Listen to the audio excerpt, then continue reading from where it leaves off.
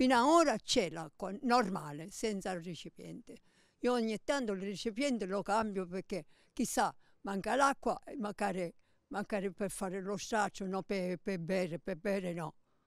Una ci mette quelle delle, delle bottiglie. No, no, fino ad ora c'è l'acqua. Mi sto davanti perciò c'è l'acqua, no, no, normale, ora. Stamattina ancora l'acqua è, diciamo, è, in distribuzione e sappiamo che dalle 8 doveva essere diciamo, interrotto il, il, servizio di fornitura.